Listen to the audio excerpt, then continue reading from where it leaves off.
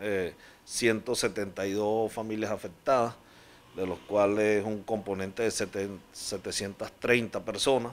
Tenemos 288 eh, adultos, 283 niños y 21 adolescentes. Hubo la necesidad de habilitar dos refugios en la capital del estado para la atención de toda esta familia. 17 familias que perdieron la vivienda totalmente.